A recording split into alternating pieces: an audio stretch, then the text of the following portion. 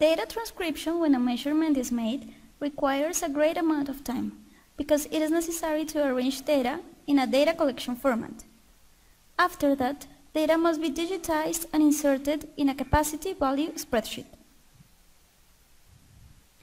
Besides the time that is necessary to make a transcription, there must be also considered the time that takes a more experienced person to review the consistency of the data, not only with the measurement type, but also with the data that is presented in the initial data collection format.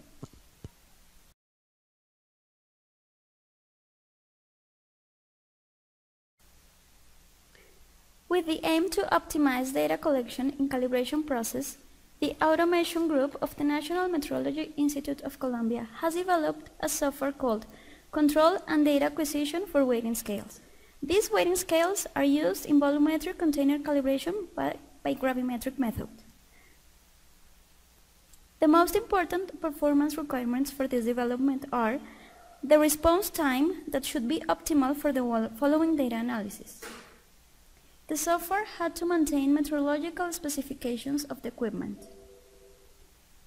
The software works for both big and small containers in order to support the veracity of the acquired data.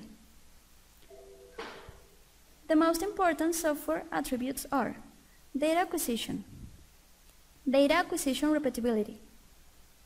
It keeps user from making transcription mistakes scalability for future projects based on weighting scales for any brand, software security to control changes in the systems.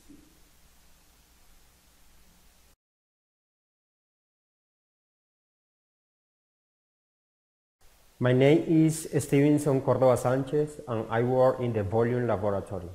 In the daily activity of the volume laboratory calibration of volumetric instrument by gravimetric method are performed for both big and small containers.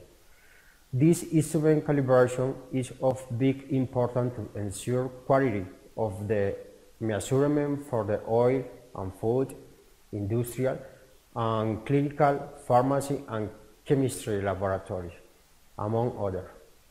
To optimize the calibration of this instrument, it was necessary to implement a data acquisition software that allowed to capture the weighing of volumetric instrument display in a digital weighing scale and the liquid temperature using resisting thermometer. The purpose of the software is to store the data acquisition information to transfer it to the calibration format that are required. The determinate the volume the volume of different volumetric instruments. The software has been useful because it minimizes the data transcription risks, ensure the quality of the data, and optimize the calibration process.